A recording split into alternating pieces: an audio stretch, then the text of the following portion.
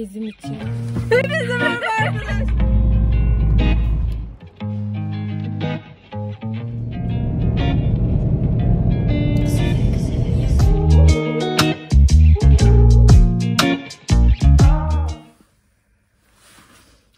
Günaydın. Yine arabada açıyorum bu haftanın vlogunu. Çünkü yine günlerden pazartesi ve ben yine Tekirdağ'dayım. Şimdi yine kardeşimi bıraktım. Diğer kardeşimi okula bırakacağım. Sonra ne yaparım bilmiyorum. Bugün yine hava böyle e, kapalı. Yağmur yağmayacak ama e, kar da yağmıyor. Çok soğuk. Bütün çevre ilçelere kar yağmış.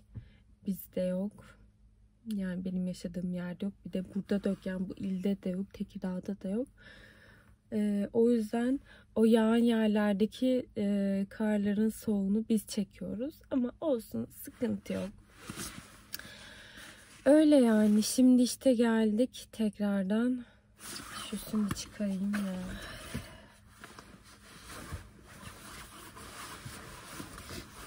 Bugün hava yine e, ben gelirken ilk arabaya bindiğimde 0 derece gösteriyordu. Şimdi 2 derece gösteriyor. Atacaktım ya. Böyle sürekli hani videoyu arabada başlatınca kendimi şey gibi hissettim. Hani böyle tırcı e, abiler ablalar böyle vlog çekiyorlar ya işte bir saat falan bir yere gider. Kendimi öyle hissettim. Kendimi onlar gibi hissettim. Ay köpekten korktular.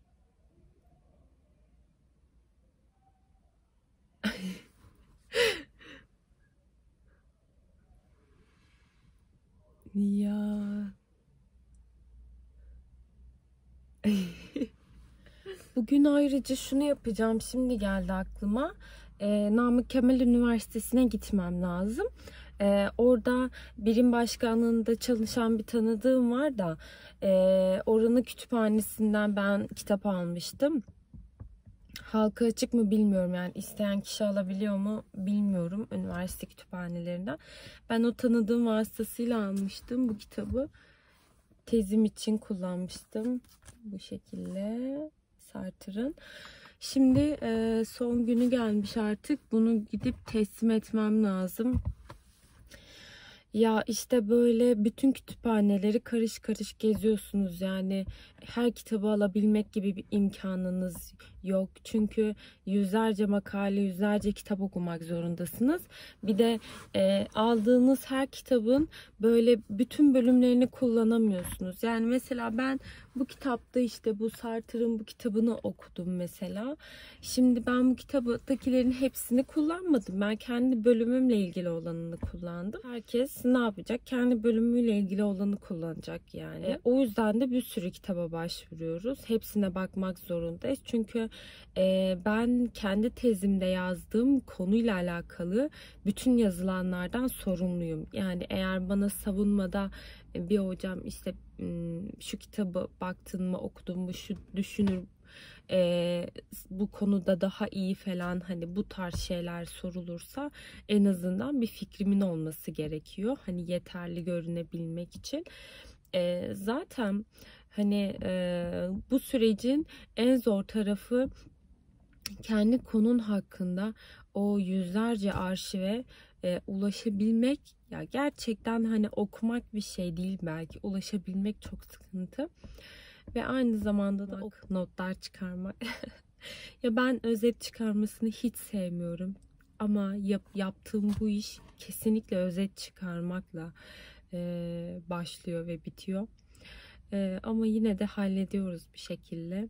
Şimdi bu kitabımı bugün götüreceğim. Üniversiteye teslim etmem lazım. Kütüphanesine. Hem buradaki halk e, kütüphanesi de var. E, oradan da birkaç kitap almıştım. Onların da tarihi dolmak üzere. Onları da gidip teslim etmem lazım. Böyle yani. İşte öğrenci oldunuz mu böyle kütüphanelerden çıkamıyorsunuz. Ama hep benim istediğim şeydi bu. Yani hep böyle e, kütüphanelerde yatıp kalkayım. Hep böyle kitap kokusu olsun. Hep böyle kitaplarla uğraşayım. Yani bu hani severek yaptığım bir şey. Yalnızca işte şu özet çıkarma kısmı falan biraz sıkıntı oluyor. Yani ee, üniversiteye ilk başladığımda felsefe bölümü biliyorsunuz biraz böyle yorumlama sanatıdır felsefe. Yani okuduğunu yorumlayacaksın. Ki kendi cümlelerinle yorumlayacaksın. Yine kitaptaki aynı cümleyi söylediğin zaman bu bir yorum olmuyor. Ve senin onu yorumlayabilmen için o konu hakkında fikrin olması gerekiyor. Fikrin olmadığı bir şey yorumlayamazsın. Bu yüzden de üniversiteye ilk, ilk başladığımızda, ilk derslerimizde e, hoca bir cümle okurdu. Bir buçuk saat boyunca o cümleyi konuşurdu. Sadece o cümleyi anlatırdı bize. İşte bir sürü filozoflardan bahsederdi, bir sürü konulara girerdi. O zaman e, ilk sene ilk çağ felsefesi görüyoruz. Çok da eğlenceli konudur ilk çağ felsefesi. Her alanda böyle her yerden ya içimden diyorum ki bir tane cümleyi bu kadar çok alanda nasıl söyleyebiliyorsunuz? Nasıl konuşabiliyorsunuz? Şimdi ben kendime bakıyorum derste. Ya bir tane cümle okuyor çocuk. Hemen durduruyorum. Böyle aklıma geliyor bir sürü şeyler hemen söylüyorum. İşte filozoflardan örnekler veriyorum. İşte Hegel şunu demiş, Sartre şunu demiş, Nietzsche şunu demiş. Ya böyle kendime de şaşıyorum yani. Gerçekten bir mesleği severek yapıyorsanız arkadaşlar o meslek sizi hamur gibi yoğuruyor yani ve sonra bir kıvama geliyorsunuz. Hani böyle e, dinlendirme vakti vardır ya bir de. Hani hamuru yoğurursun, bütün malzemeleri katarsın ve artık o e, top vaziyetine getirirsin. İşte o süreç üniversite süreci. Daha sonra işte hem de yüksek lisans süreci de olabilir. O dinlendirme kısmı arkadaşlar artık böyle ya yeter ben yapamıyorum, edemiyorum, artık daralıyorum dediğiniz süreç. Eğer o süreci başarıyla atlatabilirsiniz, devamında ortaya çok güzel bir malzeme çıkar. Güzel bir poğaça çıkabilir ya da güzel bir makale çıkabilir, tez çıkabilir. Ee, ben şu an o dinlenme sürecindeyim biraz sıkıldım, bir tık bunaldım. Üniversiteden uzağız, hocalarımızı göremiyoruz. Pandemi girdi zaten ben. Yüksek lisans birinci senesindeyken ikinci dönem Mart ayının Mart'ın 11'iydi hatta hiç unutmuyorum. İstanbul'a gitmiştim bir haftalığına. Arkadaşlarımın hiçbirisiyle ben vedalaşamadım. E, o zaman pandemi girdi. Ne oldu? Araya soğukluk girdi yani üniversiteye dair hiçbir şey yok sıkıntı oluyor yani. Ama işte bırakmayacağız. Devam edeceğiz. Hepinize merhaba arkadaşlar. Bugün sizlerle birlikte ben geldim. Bu kadar. Evet bu da Şöden arkadaşları var. Sevde ve... İsmini vermek istemeyen izleyici. Kolunu görüyoruz. Evet Şöden Hanım hoş geldiniz. Hoş bulduk. Nasılsınız? Çok iyiyim teşekkür ederim. Siz nasılsınız? İyi gibiyim. Bilmiyorum. Sabahın köründe yanına geldiğim için çok bilemiyorum şu an. Ne demek çok bilemiyorsun ya? Evet şimdi gördüğünüz bu şahısları alıp okula götüreceğim.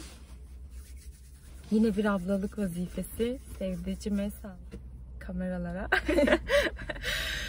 Öyle yani. Bağlanmıyor Bağlandı ya. Bağlandı. Aa pardon ya. benimki bağlı o yüzden. Şimdi arkadaşlar bunları okula git götüreyim bırakayım sonra ben bu kızın işleri var onu halledeceğim dershanesinde. Neyse şimdi söylemeyeyim. Ondan sonra gideceğim onu halledeceğim sonra sonra üniversiteye gideceğiz. Değil mi? El sağlık Sevdeciğim bay bay yap. Merveciğim elini. Hadi kapat videoyu. Videoyu like atıp beğenmeyi unutmayın. Hadi bay bay.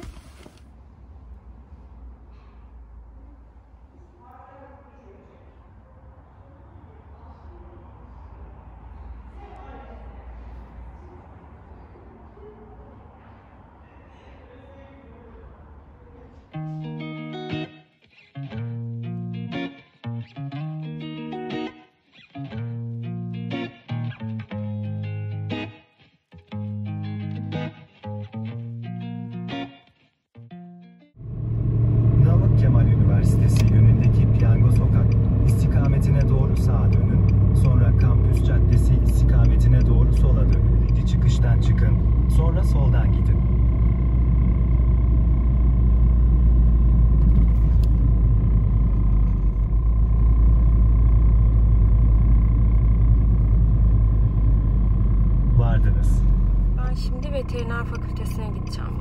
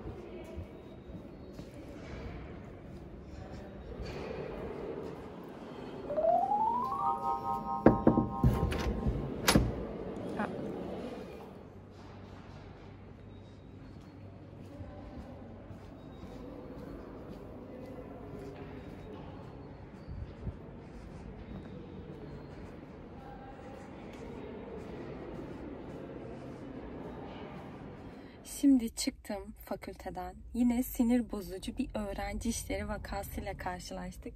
Ya her yerde aynı olamazsın. Yani bu öğrenci işleri gerçekten her yerde aynı olmamalı. Ya gittim, eee, soracağım tabii ki odası nerede diye. Öğrenci işlerine gittim fakültenin. Girdim içeri, e, merhaba yapıyorum. Böyle suratıma bakıyorlar. Ondan sonra işte hiç cevap yok. Sonra dedim ki şu şu kişiyi tanıyor musunuz? Yine bir cevap yok. Sonra oradan biri çıktı dedi ki işte şu, şurada odası falan yaptı. Gittim odası kapalıydı. Dedim ki kitabı da bugün vermem lazım. Daha gelmemiş. Ondan sonra işte neyse gittim öğrenci işlerine tekrar. Dedim ki "Ya bu kitabı ona verir misiniz dedim. Suratıma bakıyor. Ben böyle yaptım. Kiminle muhatap olacağım falan dedim işte. Ondan sonra oradan biri böyle yaptı. Haberi var mı? Ya haber olmasa ben ne işim var yani burada? Sonra işte dedim ki evet haberi var dedim. Verebilir misiniz? Ses yok suratıma. bak- Ya biri yazsın bana ya. Desin ki şu üniversitenin öğrenci işleri bal dök yala desin ya. Aynı olur. Hepsi aynı ya. Bizim fakültede de aynıydı. Hepsi böyle. Nasıl olabiliyorsun? Ya bunları özel seçiyorlar ha. Yani böyle sınava gidiyorsun KPSS ile falan oluyorsun. Ya böyle çok bir şey de olmuyor yani. Hani böyle yıllarca üniversite okuduktan sonra olmuyorsun o öğrenci işlerinde. Yani iki yıllık bölümü bitiren bile gidiyorsun KPSS'den, ön lisans KPSS'den puan alıyorsun. Giriyorsun yani hani çok bir şey değiller aslında. Video çekiyordum biri geldi bir şey sordu. Kapatmak zorunda kaldım. Neyse işte. Yani böyle varsa sizin böyle süper dediğiniz bir öğrenci işleri lütfen bana söyleyin. Gidelim görelim ya. Her yerde aynılar nedense. Bunların suyu suyuna çekiyor. Gerçekten körle yatan şaşı kalkıyor. Üzüm üzüme baka baka karır. Artık siz devam ettirin yani. Ben daha hiçbir şey demiyorum.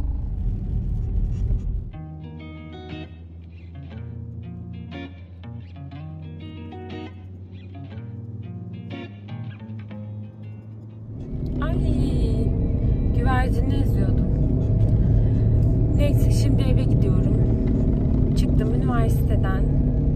Bir tık moralim bozuldu. O yüzden eve gitmeye karar verdim. Gezmek istemiyorum. Genelde kafama bir şey taktığım zaman hiç modum olmuyor. İstemiyorum. Hiçbir şey yapmak istemiyorum.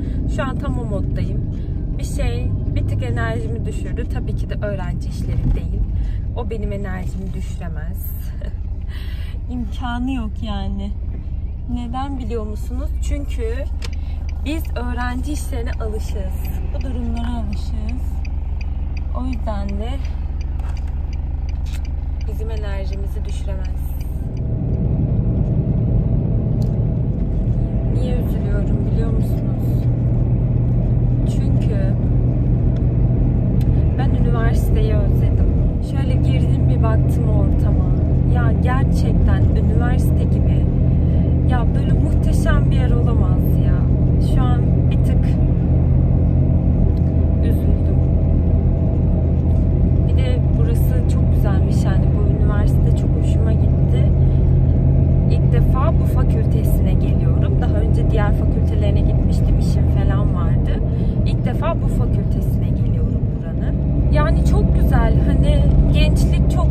güzel, ortam çok güzel. Ya ben çok seviyorum. Ya üzüldüğüm nokta ne biliyor musun? Zaman geçiyor, her şey geçiyor. Yani ben e, benim şöyle bir e, sıkıntım var. Ben hiçbir şeye yetişemediğimi düşünüyorum.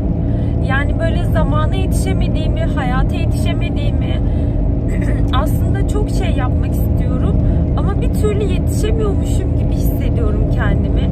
Ya şöyle bir yokluyorum.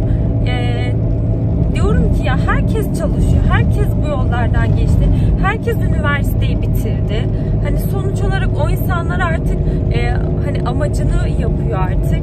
Hani sen de bir nevi öylesin.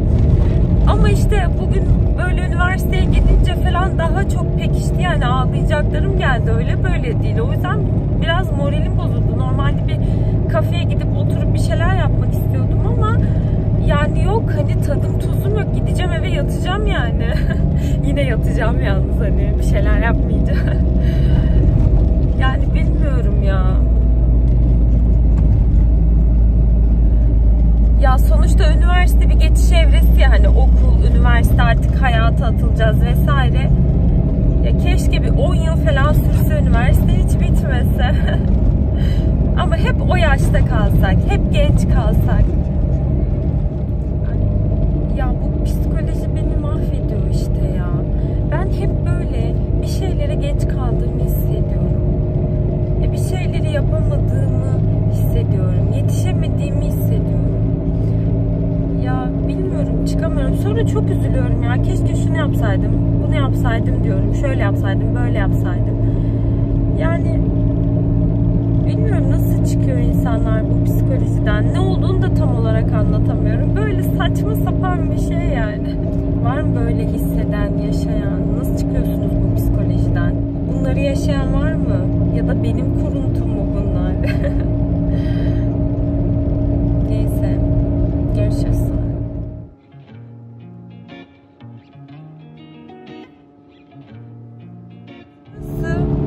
Trakya bölgesi o kadar düz ki. Yani böyle bakın traktörler. Bu arada bu yol da yeni yapıldı. Gerçekten çok güzel oldu. Normalde hani 45 dakika bir saat falan sürüyordu il bize. Şimdi daha az sürüyor ve rahat oluyor. Yani çift gidiş çift güzel oluyor. Özellikle akşamları ve gece çok iyi oluyor. Zaten tarıma çok e, önem veriliyor. Tarıma elverişli toprakları var buranın. Bir de benim işte Kırklareli Üniversitesi'nde okudum ben. Oraya giderken de işte e, hep böyle yani sağlı sollu hep düz. Bir tek işte böyle e, dağlık tepelik Kırklareli e, Longoz ormanları var biliyorsunuz. Dünyanın en iyi ormanlarından bir tanesi.